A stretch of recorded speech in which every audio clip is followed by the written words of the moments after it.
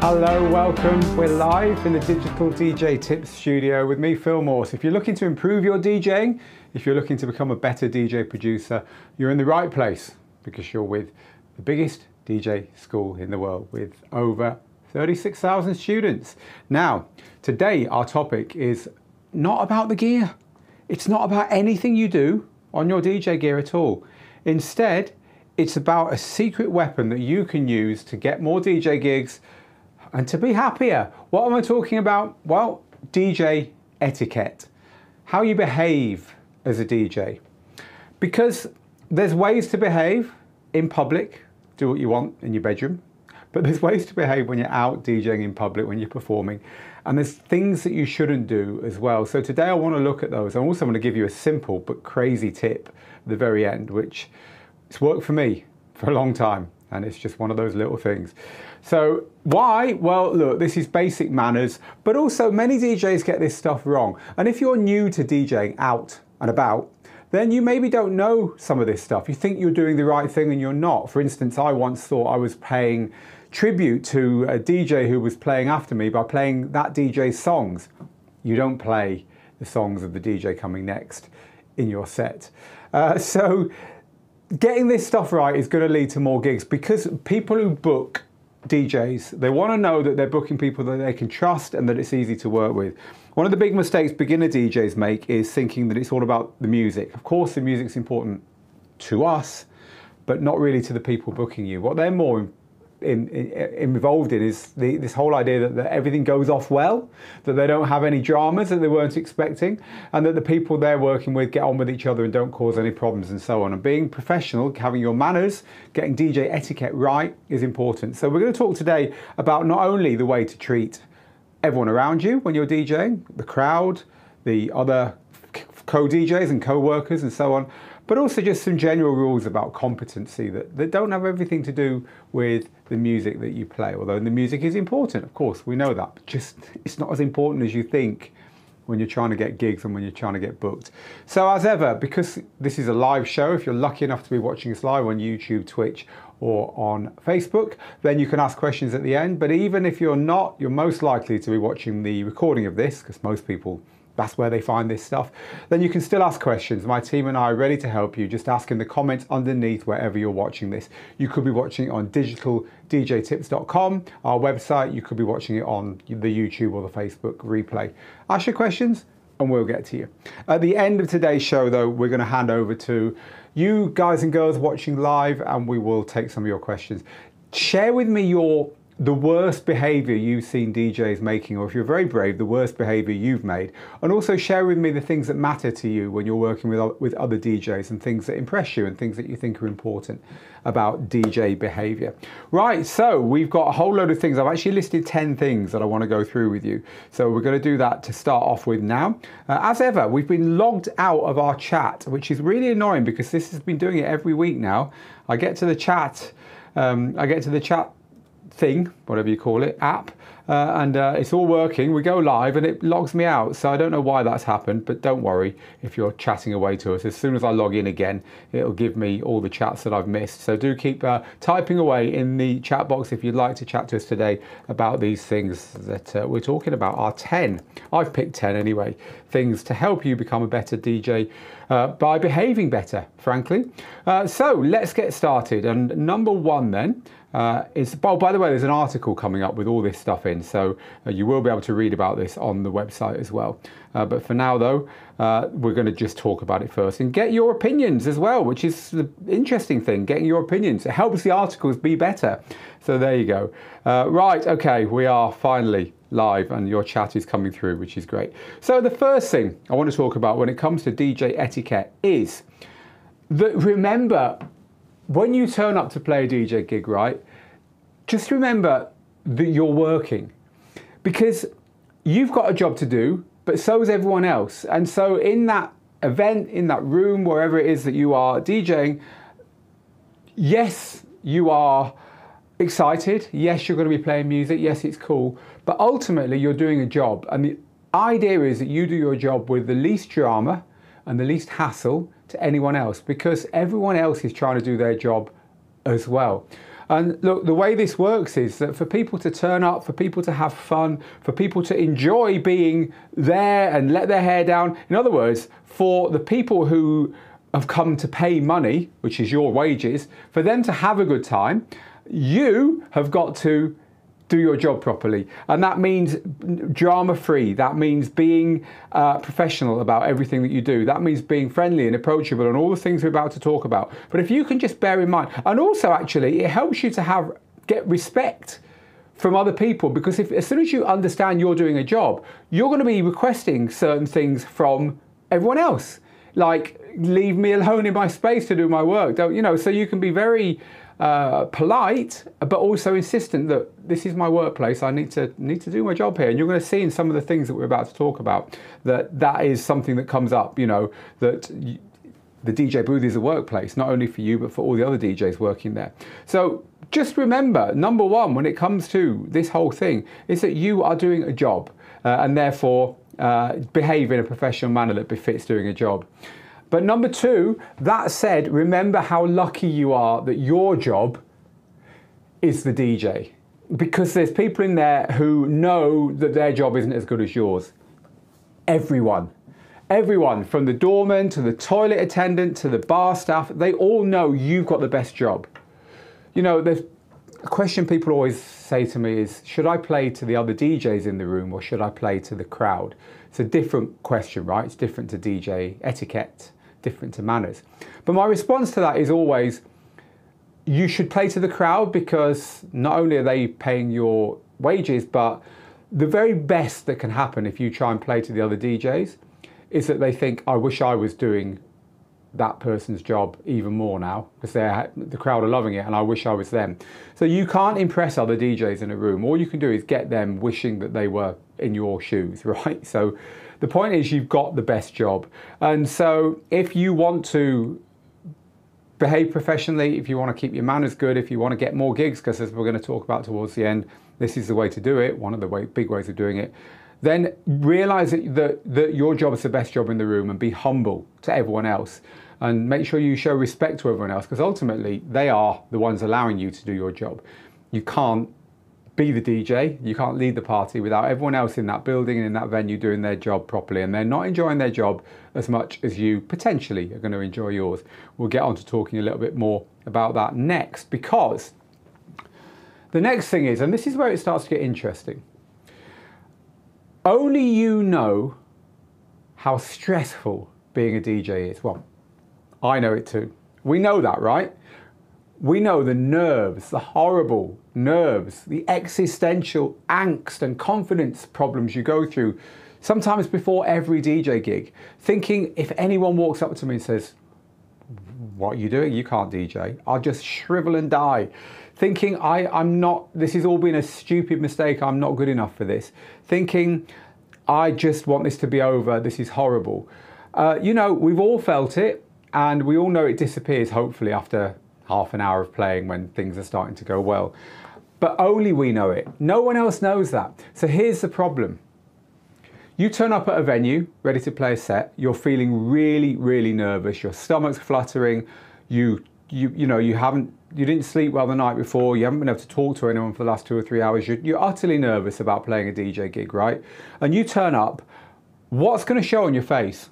It ain't going to be bubbly, smiley, friendly with everyone, being humble and considerate and respectful to the toilet attendant and the bar staff and so on. Of course, it's not. It's going to be probably grey and ashen and I just want this to be over, I just want this to be over, hiding in the corner, you know. But that comes across as arrogant and that comes across as standoffish.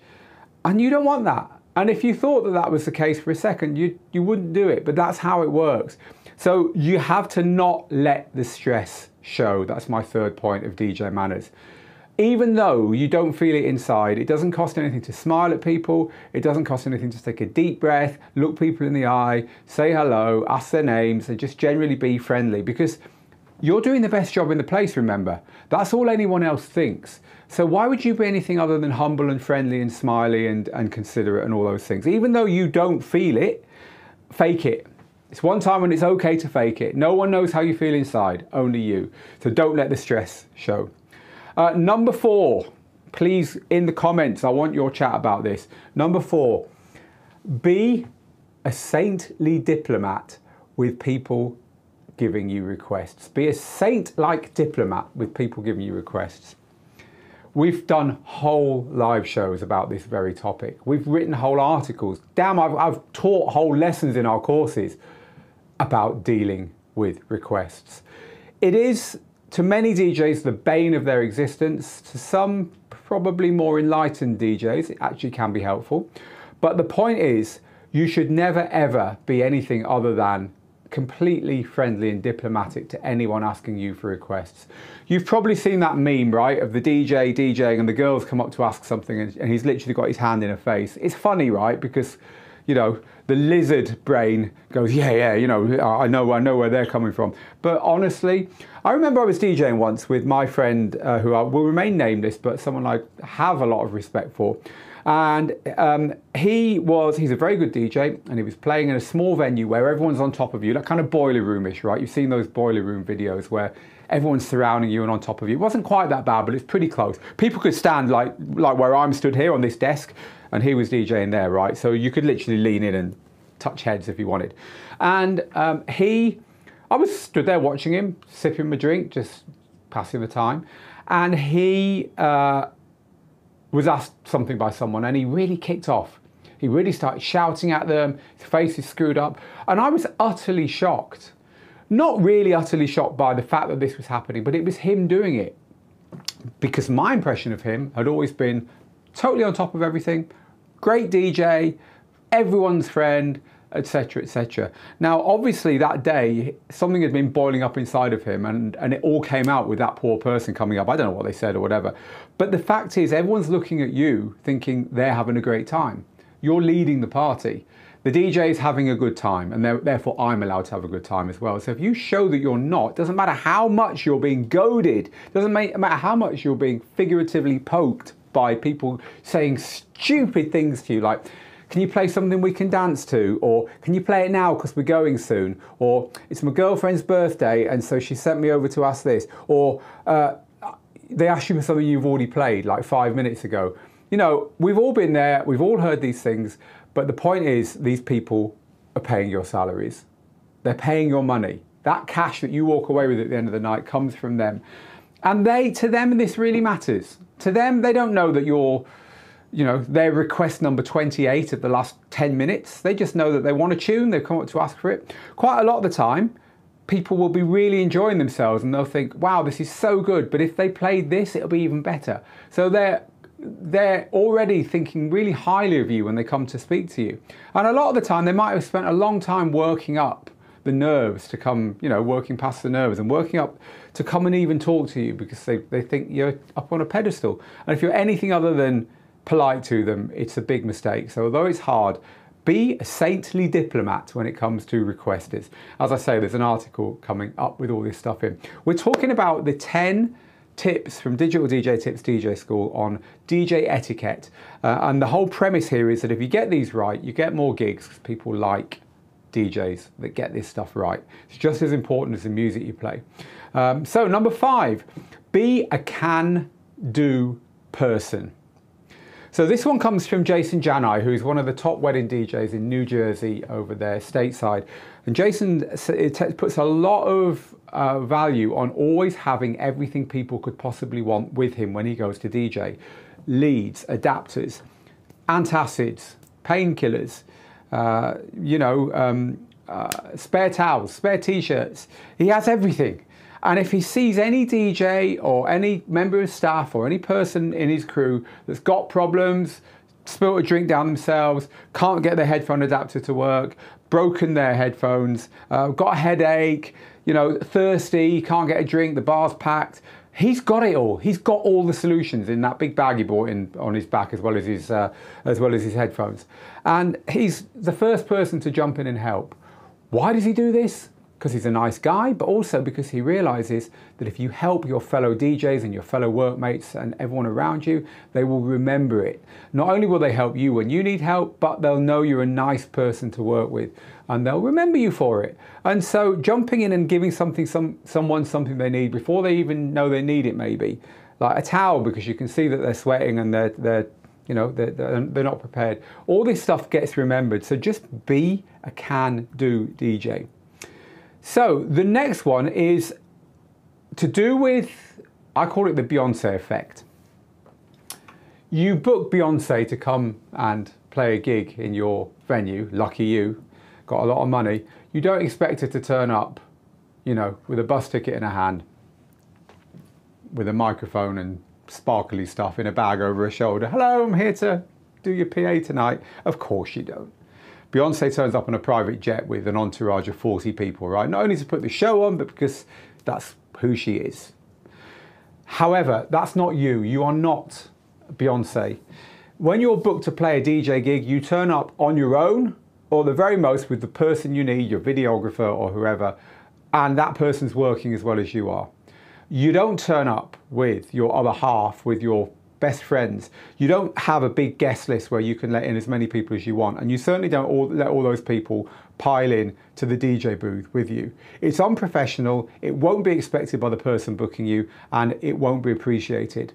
And so, if you do want to bring other people with you, let's say you're in a different city to normal, you've been booked to play somewhere different, and your partner has travelled with you, then that's fine, but just clear it with the people who booked you first and don't have hangers on including your partner or whoever, in the DJ booth when you're working. It's not professional, it won't be appreciated by other DJs, and unless you're very sure about this stuff, it's just best to avoid it. So you're not Beyonce, your mates haven't been booked, it's you that's been booked. Don't take liberties. Again, it's not so much that you'll be remembered for not doing this, but you'll certainly be remembered badly if you do do this. So the next one is, this should have been number one really, but uh, this is just the way they came out when we were brainstorming today's lesson. Um, get the basic professional stuff right. In other words, be competent. So if you're booked to play a gig, James Hype, one of our tutors, says he always pre-reads his crowd. He pre-reads his crowd. How does he does that? How does he do that? Well, when he's playing in a venue in a city he doesn't know or a venue he doesn't know, he gets on Instagram, he gets on socials, and he looks at the venue, at their feeds. He looks at the feeds of DJs who've played there in the last few days or this, this time last week or whatever. He looks at mentions of that venue and he looks at what clubbers are posting. He watches the video clips. He gets on to Shazam, which has city genre charts on its website. So you can see what music is being shazammed in the city you're going to be playing in. And he puts all this stuff together to pre read the crowd. So he knows what to expect when he turns up there. That's basic professionalism. It's having all your itinerary sorted out so that you know you're going to be there on time and you've got a plan B if there's a problem with your transport and so on. It is turning up on time. It's doing all the th- and then of course doing a decent job being prepared for the gig. It's doing all the things that mean that you perform your job without any extra drama for the person booking you. So getting the professional basics right is so important and i count etiquette as one of the basics. It's no point getting all that stuff right and then being a real pain to work with right? So but get the get the get the competency stuff right. Get the stuff that you expected to do right, um, without even a mention. Um, so the ninth thing I want to cover, there's two more left. Uh, stick to your DJ set times. So if you're booked to play a certain time, then stick to it. Now, obviously, if you start late, you check whether you're going to be ending correspondingly late or what the deal is. Uh, and don't pester the other DJs when they're playing. Don't overplay your mark. Don't pester other DJs when they're playing. Expect to be playing at your agreed time and expect to finish at your agreed time unless everyone agrees differently for whatever reason. Things do change. Uh, but leave people alone, you know, so play your set at the time you're there and get out of the face of other DJs when you're not needed. Uh, and be very considerate when you're switching DJ sets as well. You know, just ask people what they want, best way of doing this, uh, and uh, listen to what they say and try and figure out the most painless way of switching over. Obviously, DJ switchovers are a big flashpoint when it comes to this stuff. Uh, and my final point, and this comes from years of DJing in venues everywhere, being a promoter, also being a DJ, so I've seen both sides of this. Save any battles till afterwards. There is no point starting to argue if you don't like the way things are happening at the time, most of the time. So this is generally if you ever want to play in that venue again. If you don't, let's say you turned up to play a venue and everything's going wrong and you just want to, you don't care, you're not going to play there again, um, you're going to put your foot down and shout a bit. Well, that's your call, but don't expect to play that venue again. If it gets you the gig you want, if it gets you the peak time, if it gets that other DJ you don't like out the DJ booth, if that's the kind of person you are, if you think it's worth it, be my guest, go for it. But if you ever want to play somewhere again, the best thing you can do when things aren't going according to plan, it could be other DJs overstepping the mark, it could be someone else being unprofessional, it could be something you feel is unfair, it could be the way that the crowd are behaving and you think the door staff should have done a better job with them, it could be the fact you can't get a drink and you, you feel it's impacting your behavior because the place is too busy. Deal with it and deal with it in a way that doesn't impact other people, as in other workers, DJs, or people working the venue. But don't leave it raise it afterwards. If you talk in the almost cold light of day after something is uh, disagreeable to you or something that you think, I, I can't put up with this, if I play here again, that needs to be different. Then taking the time to think it through, taking the time to calm down, and waiting until the, the, the stress is off, waiting until the party's over, and everyone's had time to take a deep breath, is the right time to talk about this stuff. You will be respected for talking about it and you'll be appreciated for not kicking off when no one was in a position to really do anything about it or help you. So disagreements aren't always 100% right, 0% wrong. You know, it's not always, in fact, it's never that black and white. There's always some nuance. There's always some, yeah, but you didn't understand this. Yeah, but and as soon as you're starting to use, yeah, but, yeah, but, yeah, but, that is not a performance conversation to have. So leave it till afterwards and you'll get better results. You'll get listened to more, or you might actually think, I was being a bit stupid there, and actually this isn't even worth raising, and save yourself a bit of embarrassment. So we uh, we can sum this up really in two sides: the personal side and the professional side. The personal side is this is like the people skills. As long as you remember to stay polite and humble and show respect for other people, basically to treat people as you want to be treated, you'll you'll be there or thereabouts, right? Um, and on the professional side of it, being on time, being organized, being prepared, pre reading your crowd if it's a new venue, and being competent, all those things count. But they count over and above the genres of music you happen to be playing or not playing. That, that counts as competency because you should know that stuff. But DJs who say, well, you know, I play deep tech house and I'm great at it, so you should see that brilliance and book me again, I'm missing all these things, right? the venue owner doesn't really care as long as the music's roughly what he or she thinks it should be, etc. I'm not saying music's not important, I'm just saying that music and mixing are no good if you get everything else wrong. This is all stuff you can get right without playing a note. Um, the truth is that DJs are only ever booked by people they know and like and people who know and like them. It's a people thing, it's a people relationship thing. If people know they're going to enjoy DJing with you, whether it's other DJs or club managers or promoters or whatever, they'll book you and they'll likely ask for you by name. Your name will come up in conversation when you're not there. Your good manners will be working for you, which is a great thing. Right, so before we talk about DJ etiquette, good behavior, bad behavior, and I can't wait, I just want to share one more thing with you, and it is a stupidly simple tip and it comes from a point of being really, really bad at this myself. I really struggle with remembering people's names. I can look someone in the face and not really see them, and they can tell me their name and I've forgotten it before it's even finished coming out their mouth. I'm absolutely terrible at it. I don't know if it's nerves. I don't know if it's because I've always got 10 things going around in my head. I don't know if it's just that everything moves so quickly and I'm not taking time to let things sink in. But here's the thing the most important word in anyone's life is their own name. So if you can remember everyone's name, you really are a cut above most people. So what I do is I do two things. I look people in the eye when I ask them their name and I repeat it back at them. And saying their name allows it to sink into my head. So if someone says, hello, I'm, my name's David, I say, well, lovely to meet you, David looking them in the eye. And at that point, we finish our conversation. I know that because I've actually said their name back to them, I will remember doing that straight afterwards, and I'll, I'll, I'll still have their name in my head. Battle number one, because believe me, otherwise I forget it. Terrible, I know, but that's knowing yourself is half the battle. And the second thing I do is get my phone out and scribble it down. I've got a list of names and I'm unapologetic about that because it gives me a better chance of remembering that person. So if you are like me, if you struggle to remember names, look the person in the eye, repeat their name back at them. By the way, that can help if it's an unusual name and then write it down as soon as you get a second. So that's all I've got for you today on DJ etiquette. Uh, what do you think though? I'm going to now spend a few minutes talking to our fantastic audience, many of whom are here with us live. However, I've been logged out again from the chat. This is absolutely terrible. I need to have a word with them about this. Uh, I'll log in again, uh, but meanwhile, uh, do let me know uh, in the comments. we have got them all coming in here from Twitch, YouTube, and from uh, and from Facebook. So, uh, meanwhile, I'm just going to dial up my chat box again. It will only take me a second. It's annoying though. I don't know why I keep getting logged out, I have to say. Doesn't make any sense to me, but there you go.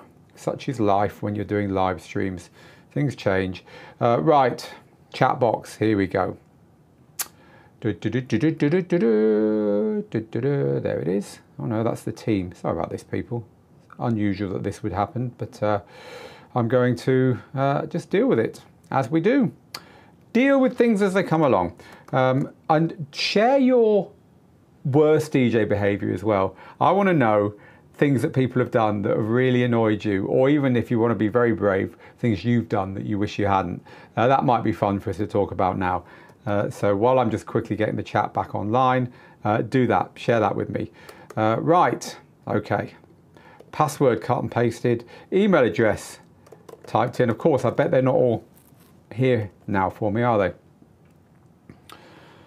And it's making me click on boxes with motorcycles in, which is extremely exciting for me. Ah, they are all here, that's good. Good.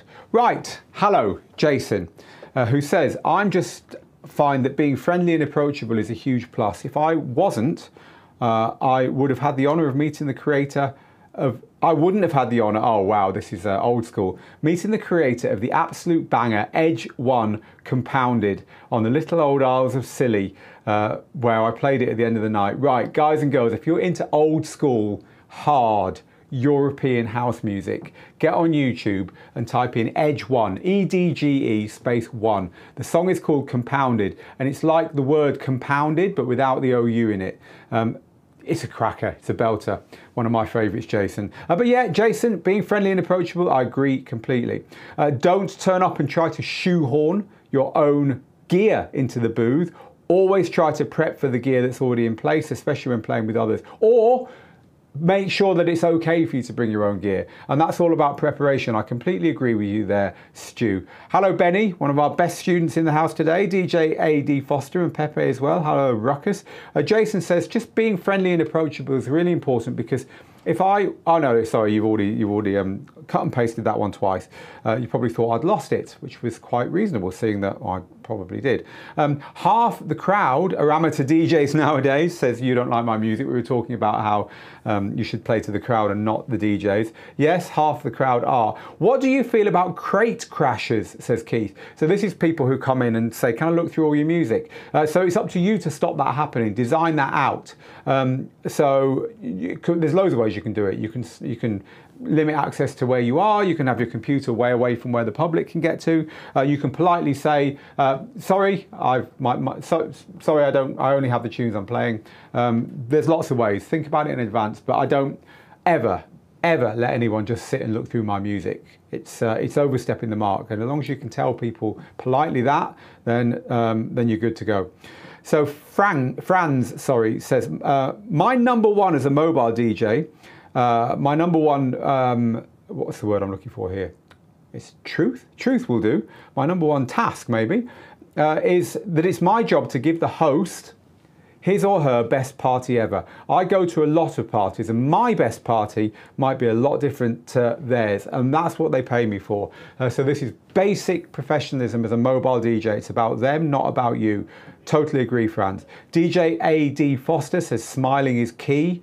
You know, we were talking about how when you're very nervous, it's, it's easy to kind of like everything about you is rigid and your face is grey and oh, I don't want to be here, I don't want to be here, please, please, please, someone help me. No one's going to help me. Ah, that's not a smile. Uh, smiling is definitely key. Uh, faking it until you're finally enjoying yourself at some point, which normally happens, uh, is definitely important. Thank you for that, DJ A.D. Foster. Uh, the Ruckus says, I'm more, I love this, I'm more nervous getting ready to record myself uh, than when I play in front of a crowd. Interesting. What I recommend there is just hit record every time you turn your DJ gear on. Just leave it playing, literally. Hard drives are cheap nowadays. As soon as you turn your DJ gear on, hit record.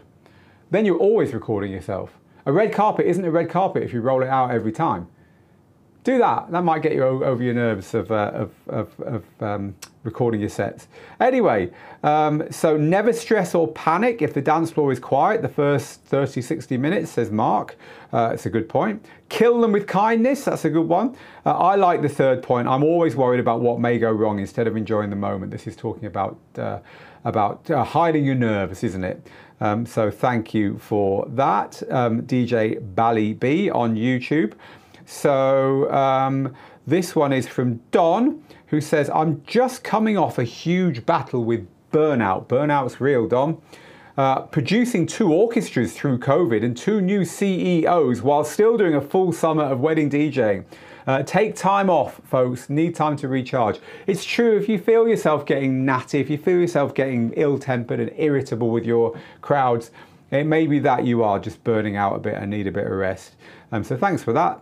Um, I hate requests, says about half of the chat. Um, but however, 99% of the time, it is essentially someone telling you to change the music policy to whatever their personal taste is.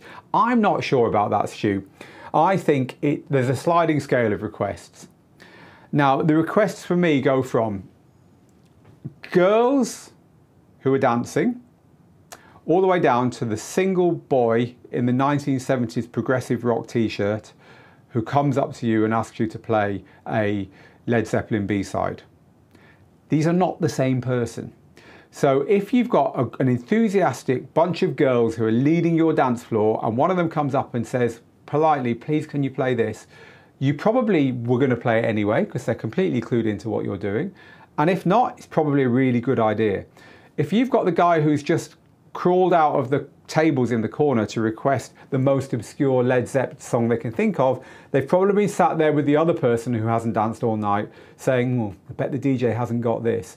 They don't understand dancing, they don't understand DJing, they don't understand keeping people happy. They might not be there to sabotage you, but they just want to hear something that will maybe cheer them up but you don't want to be listening to those people. So I think there's a difference. You know, not all requesters are the same, but I do get what you're saying.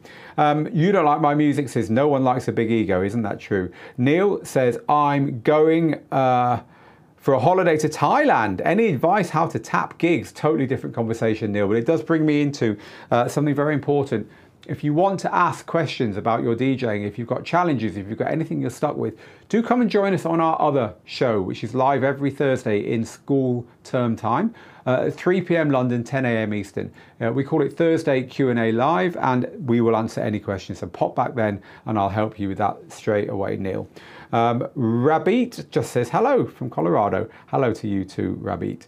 Uh, and hello to Don, who says requests are awesome. It helps you to know your client better. Indeed, it does. So thanks for that. So today, folks, we've been talking about DJ etiquette, the simple thing you can do which will basically get you more gigs because you'll be a likable person that people want to work with. Before you've even played a note, before you've even powered up your gear, this is the kind of thing that will help you get those gigs and show off what you can do. In other words, if you don't do this stuff, you might just find that there's less demand for your services and you don't get a chance to show off your music and show off your mixing and all the other stuff that uh, has got you into DJing in the first place. There will be an article, and if you're watching this video embedded in an article, hey, it's already been published. But if not, keep an eye out on Digital DJ Tips website for that article. Uh, go to digitaldjtips.com, and when you get there, uh, I will show you. Why don't we? Why don't we have a look together? When you get to digitaldjtips.com, uh, go to the top and click on the blog, and you'll find all our latest stuff there. Uh, and this week, as we record this, there's a lot going on. Ableton has launched a standalone push controller, which is pretty uh, exciting. It's also modular, which I think is great. We've been talking about DJing on standalone gear without having to export to a USB drive. Uh, we've been talking about turntables this week. Uh, so all this great content is over on Digital DJ Tips. Just if you do come over, click that join button. It will give you access to the Tuesday email that we send out every week. A seven minute read that will help you become a better DJ. And to say thank you for joining, we'll give you a copy of our book the best-selling book on Amazon, uh, Rock the Dance Floor on how to DJ. So head over to Digital DJ Tips, join if you're not a member, check our content out and look out for the articles supporting this video. But meanwhile, from me in the studio, get good, get out there, make the moments. I'll see you very soon. Till next time, bye-bye.